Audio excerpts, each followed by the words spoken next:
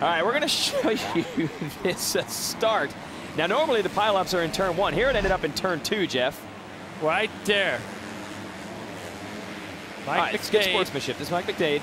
He's uh, riding that 1110 mods bike. He hears Wil Hahn right there yelling, waving his hand. See the smoke coming off. A nice guy. Thanks, bro.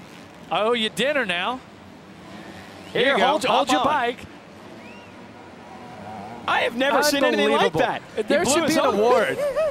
That that right there is like the sportsmanship It's unbelievable. moment of the mm. season so far, no doubt about it.